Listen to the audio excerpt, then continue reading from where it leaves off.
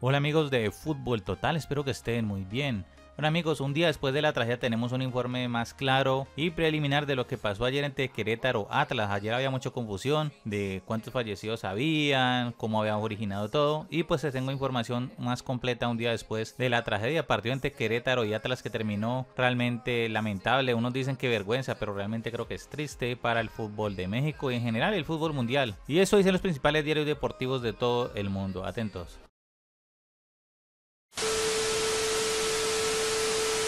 Y bueno, la noticia llegó como les dije a todos los diarios deportivos del mundo, diferentes idiomas. Así que vamos con el diario AS en España que publicó esto, la desgarradora secuencia de esta familia en la batalla entre México y cómo tuvieron que proteger al niño. Bueno, esta imagen se hizo viral, de hecho es un video, lo pueden ver en la página de as.com. Y pues una familia se quita las camisetas para eh, no ser agredidos por hinchas rivales. Vemos a los niños sin camisetas y pueden ver el post completo en as.com.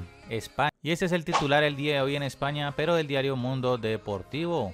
Tragedia en México por una brutal pelea. Al menos 22 fallecidos y un centenar de heridos, algunos muy graves el sábado, una pelea entre hinchas. Querétaro Atlas en Guadalajara. Algunas fuentes hablan de que hubo incluso varios muertos. La Liga Mexicana de Fútbol ha anunciado la suspensión de todos los partidos programados para el día de hoy. ¿Qué tal esto en España que publica Mundo Deportivo? Y un informe más detallado, no lo hago tan largo porque es bastante largo este post, lo encuentran en el diario Marca de España. Querétaro Atlas, ¿qué pasó en el estadio la Corregidora? Reporte, últimas noticias el día de hoy. El pasado 5 de marzo, una fecha inolvidable, para que la tengan en cuenta. El fútbol mexicano había uno de los capítulos más oscuros en su historia. Pueden ver el post completo en el diario marca.com. Está bastante interesante con imágenes y videos, o sea que no puedo mostrar por, eh, por YouTube, que es un poco sensible, entonces no puedo mostrar lo que es los videos que son bastante fuertes.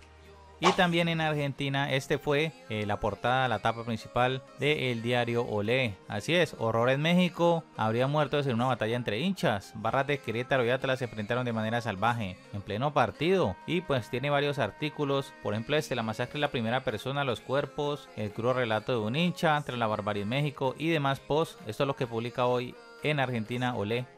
Diarios locales en México, por ejemplo, el diario más importante de México en cuanto a deportes, el diario Récord, y habla de esto, no descarta desafiliación, hablando de Querétaro desafiliarlo de la liga profesional. Realmente yo no creo que, yo no estoy de acuerdo con eso porque no tiene nada que ver el equipo con lo que hicieron los hinchas, o sea, por uno tienen que pagar todos. Entonces hay que estudiar muy bien ese punto. Y aquí hay imágenes de lo que sucedió, además hay un listado de, de digamos, de recompensa para capturar a los agresores. Eh, creo que son más de 50, 60 fotos que vi por ahí. Así que pueden entrar a récord y ver si reconocen alguno.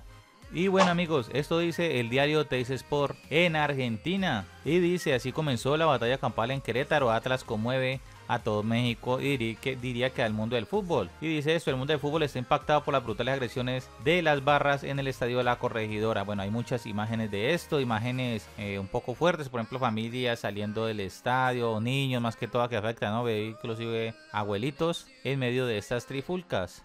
Y bueno amigos, yo me despido con esas imágenes que son muy positivas de Sport Center. Tras lo sucedido en el estadio de la corredora de Querétaro, hinchas de atrás se congregaron en el estadio Jalisco para recordar fondos y ayudar a las personas afectadas. Eso fue anoche. Anoche mismo, miren, velitas y pues la familia reunida, dando una oración por aquellas personas y más que todas las familias de los afectados. Así que este es el lado positivo de esto, aunque bueno, más cosas negativas que otra cosa. Así que estamos pendientes de nueva información, las sanciones y demás. Amigos, si son nuevos like al video, me apoyas un montón y suscríbete si son nuevo. Nos vemos. Chao, chao.